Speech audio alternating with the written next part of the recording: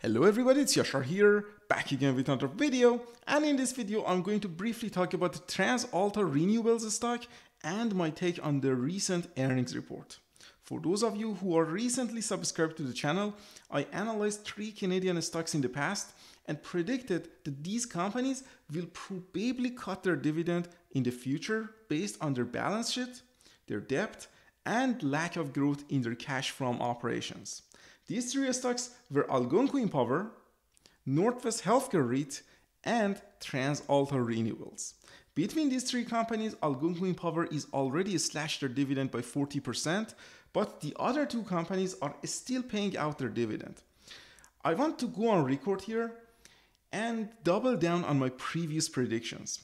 I think the management team at TransAlta Renewables will slash their dividend despite their previous promises to keep paying out the dividends.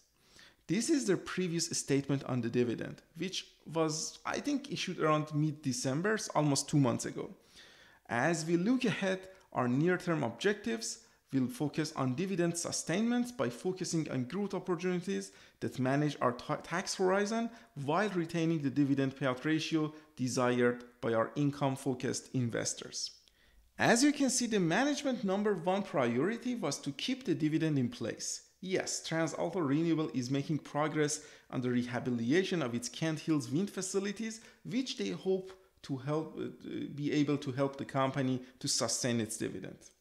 My prediction is that despite all these promises and efforts, they will cut the dividend soon. It's of course just my prediction, it's not guaranteed or anything, it's not a financial advice for you to buy, hold, or sell your stock based on this. And they may be able to continue to pay the dividend by diluting shareholders or raising capital via debt. But based on the balance sheet of this company and their failure in capital allocation and risk management, I think they have to cut the dividend by at least 25% to be able to continue their normal operations. This is my opinion, right? And this is actually not the worst possible outcome for shareholders. The worst outcome is that the management want to continue to pay this dividend despite not having enough cash on their balance sheet. So they have to further dilute shareholders, take on new debts, or potentially stop capital reinvestments, stop it to 100%, which can cause serious damages to long term returns of investors.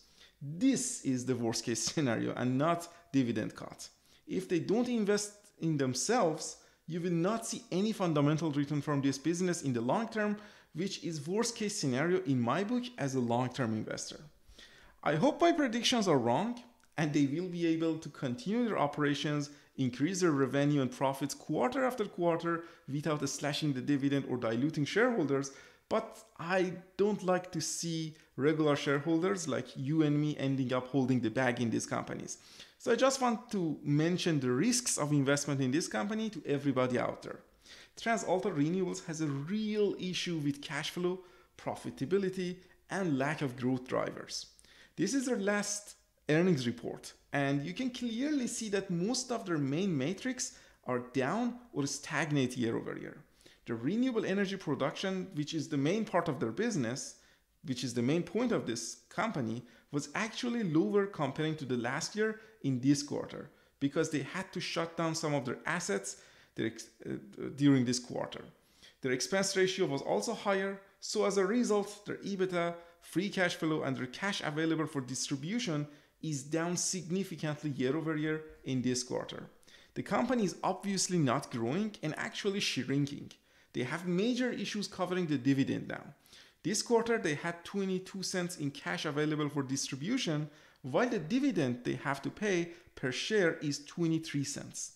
In the whole year, they had 91 cents available for distribution and they have to pay 94 cents in dividend, which means their payout ratio is over 100%. The payout ratio is close to 103% right now.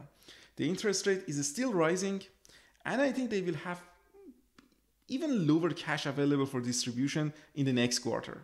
The company have three options right now.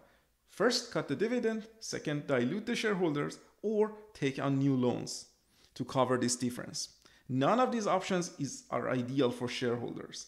The first time I published a video about TransAlta Renewables, the stock price was around $18 per share And I discussed the valuation of the company and concluded that the stock was overpriced and overvalued by almost 52%. And the fair value of the stock was around $8 per share. Today, TransAlta Renewables share price is around $11 per share. And I think the company still is, on, is overvalued. They had major issues like the crack on their wind turbines assets in the last two years. And because of those capital expenditures to repair these assets, they couldn't really reinvest in themselves, acquire new facilities, develop new facilities, hire good engineers, and therefore they couldn't really grow their cash flow. And now they have issues to even pay out the current dividend. They mentioned the reasons for these issues and de- uh, their cash flow, which, according to them, is primarily due to higher interest costs, higher taxes, major capex to repair the damaged assets, and of course the outage of some of the renewable assets, including Kent Hills turbines during the year. Anyway, I think they really have major financials and operational issues at, at this point. Is it possible that TransAlta Renewables can sustain its dividend and then eventually they can generate a bit more cash flow by new assets that they say will be online in 2023? Of course, yes. It is possible, but is it probable? I would say no they probably cannot increase their cash flow significantly by next quarter and next year. If you are investing in this company for dividend, you are taking on a huge risk with a very little upside.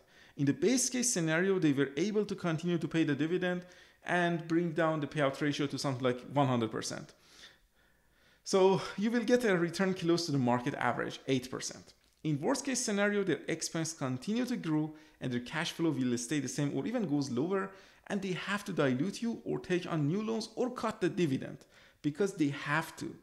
This is the definition of a high risk, low reward investment, which is exactly the opposite of what you have to do in your investment journey.